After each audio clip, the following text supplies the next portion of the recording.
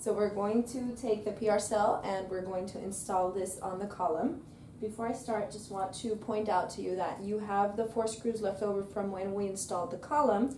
Just set those aside. Those are replacement screws in case you ever were to need them because the PR cell actually comes with the screws already already screwed in. So if you take this upside down, take your machine, just kind of place it upside down, you'll see you've got four screws, two, on the outer aspects. Those four screws, you're just going to take them out. It has It's four screws and four washers. I'll set that aside for a moment. I'm going to just take the last one. I've taken three out. I'm going to take the last one out of here. Pop that right out.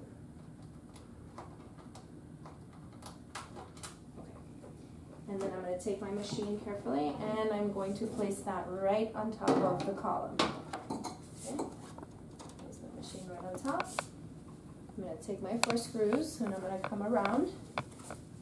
Now what you're going to do is you're going to get just underneath the column because you want to make sure that the holes are lined up, the column holes are lined up with the PR cell. I've already placed three of the screws inside the machine, so now I'm going to place the last one. I'm just going to screw that in a little bit, and then I'm going to take my screwdriver and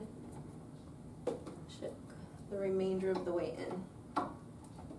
Perfect. So now I've got all four of those attaching the PR cell to the base, so that's not to go anywhere. So when you open the top, you should have had a little package with four little tiny fat screws in a little bag. That's for the U-shape. So you're to take your U-shaped machine out of the box and you're to just turn it over and you've got these four little feet to your machine. You're going to take that and you're just going to pop that right into that hole, just like that. And do all four of those. And that takes just a second. Just make sure it's popped in all the way. Two. Let me put this down for a second.